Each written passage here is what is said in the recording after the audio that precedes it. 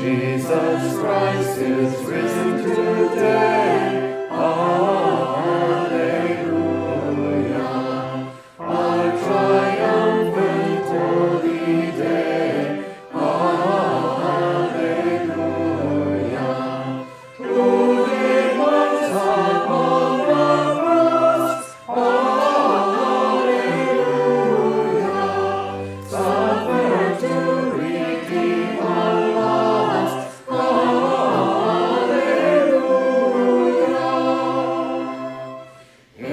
of grace, and let us sing. Amen.